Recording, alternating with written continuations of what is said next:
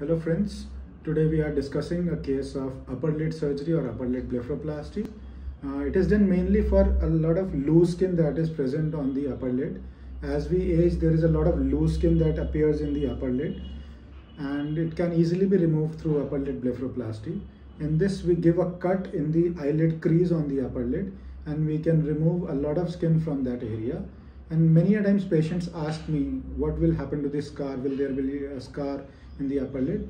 So in this case, we'll show you uh, a young lady in which we have done an upper lid blepharoplasty. This is the huge amount of skin that we have addressed through upper lid blepharoplasty and you can see later on how this scar is well healed. It's a, such a zoomed up picture even then you cannot see the scar and after about a month's time uh, it is almost impossible to find this scar.